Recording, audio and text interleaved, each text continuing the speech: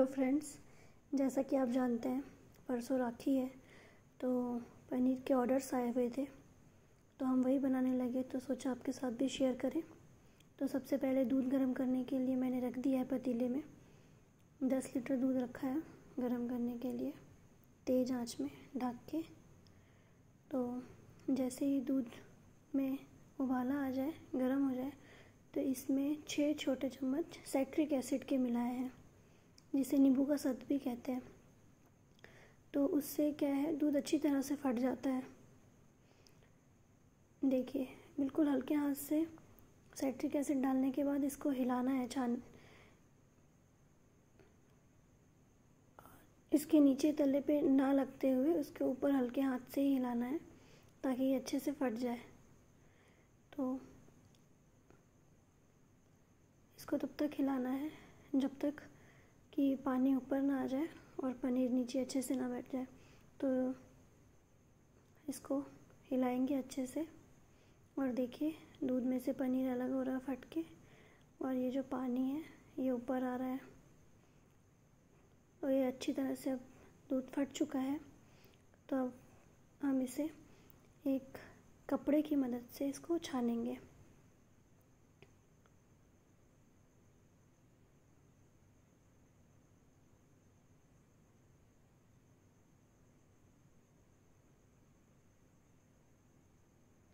ये देखिए, कितना अच्छा पनीर बन के रेडी हुआ है। कितने अच्छे से दूध फटा है।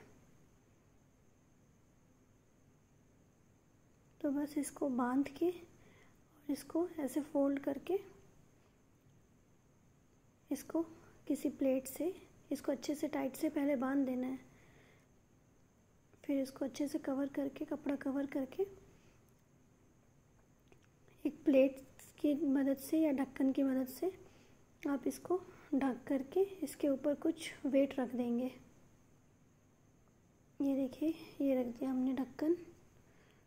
और इसके ऊपर एक पत्थर रख दिया है, जिससे इसका पानी निकल गया अच्छी तरह से। फिर आधे घंटे बाद जब इसका पानी अच्छे से निकल जाएगा, फिर इसको खोलेंगे।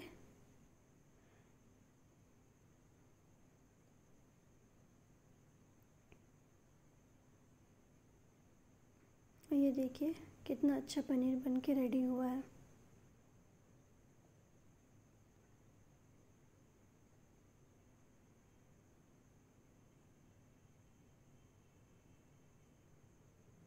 ये हमारा पनीर बन के रेडी हो गया दोस्तों।